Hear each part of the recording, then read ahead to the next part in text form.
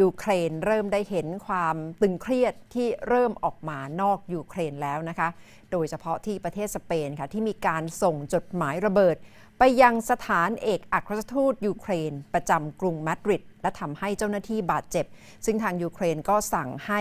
เจ้าหน้าที่ทางการทูตในทุกประเทศ ยกระดับเรื่องความมั่นคง และการดูแลความปลอดภัยมากขึ้นค่ะ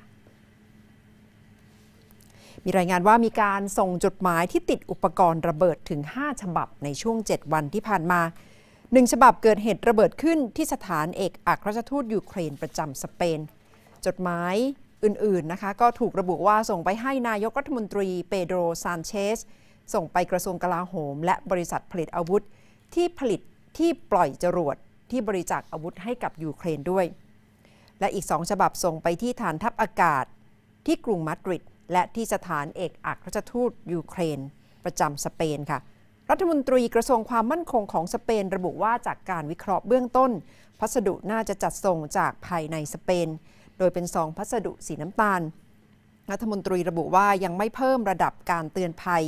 ว่าเป็นภัยคุกคามจากการก่อการร้าย และไม่แน่ใจว่ามีการส่งพัสดุเช่นนี้ไปประเทศอื่นหรือไม่ จดหมายระเบิดเกิดเหตุระเบิดขึ้นที่สถานเอกอัครราชทูตยูเครนประจำสเปนเมื่อวานนี้ทำให้เจ้าหน้าที่บาดเจ็บที่มือ ยูเครนต้องออกคำเตือนไปยังเจ้าหน้าที่การทูตในทุกประเทศ และขอให้เพิ่มความระมัดระวังด้านความมั่นคง และได้ร้องขอให้สเปนเร่งตรวจสอบเหตุโจมตี